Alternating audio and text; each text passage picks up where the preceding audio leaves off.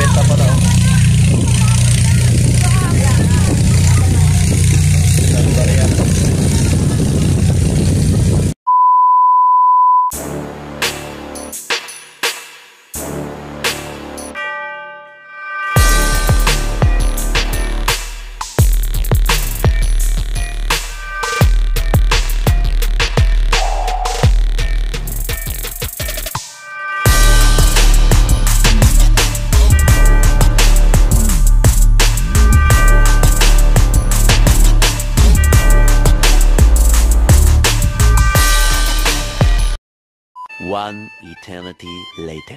Yan. Shoutout mga kapempos. Naka-shades tayo, medyo masayat sa mata. Yan, nandito nga tayo sa Little Boracay. Kunti lang yung naliligo. Medyo maluwag. Ano kasi ngayon, Merkulis. Yan. Ma-highlight sa mga kapempos, kaya maganda yung. Yan, sample. Nyo yung baba, hanggang nakalala. At kung daanan, baka malaglag ang cellphone. Cellphone lang kasi ang gamit. Ah, yan. Yan. Papakita natin yung unahan, gilid. Yan. Kahit tayo dyan, kaya maganda yung dagat. Medyo umaraw na. Pero malakas pa rin yung hangin. May low pressure daw eh. Kaya, ano, malakas yung hangin. Little Boracay tayo mga kapempus. Salamat pa rin sa mga sumusuporta dyan kahit yung vlog ko walang kwenta. Kahit walang kabuluhan. Nandito tayo sa Little Boracay, Calatagan, Batangas. Lifeguard duty na naman. Nandito kasi yung pera mga kapempus. Medyo maitim na tayo. Nangingitim na tayo mga kapempus. Brown na pa. Little Boracay. Sarap niya, kapempus. Abangan nyo na lang ulit paglipat namin ng oras. Bye-bye! 20 minutes later. Shoutout mga kapempools! Nandito ngayon tayo sa uh, snorkeling area sa Coral. Ang dami pa rin naliligo. Napakalinaw ngayon dito kasi high tide. Yan yung mga guest na taga Manila. Happy happy sila. Yun.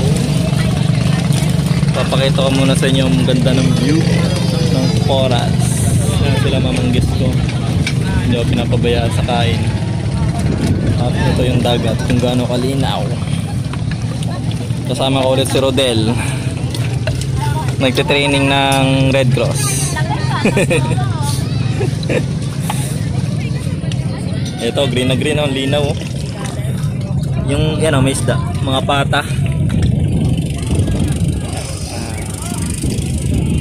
Burot Beach yan, puti na yan. Oras tayo mga ka-temples. Dami pa rin naliligo. Booking na kayo. Ito Ganda dito. oh. Ayan o. Ayan. Nakakorus na tayo. Okay. Next ulit. Next. Mamaya ulit. Three hours later. Shoutout mga kapempos, ang lakas ng hangin dito sa Starfish. May ano, may balsa na nalas na. Buti na ibalik agad. Ang lakas ngayon ng hangin. Oh, buti na lang nakahanap agad ako ng bato.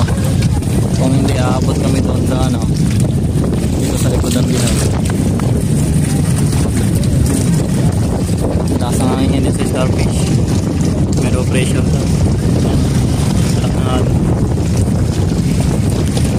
Tinakanap bato para pagsabitan ng angkla.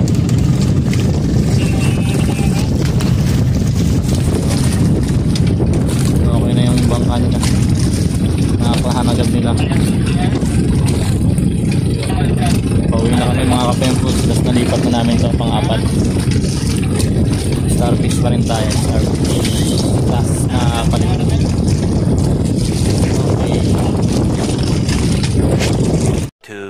2,000 years later. Yon mga kapempools, nakauwi na tayo. Medyo nakakapagod ngayon kasi malakas ang hangin.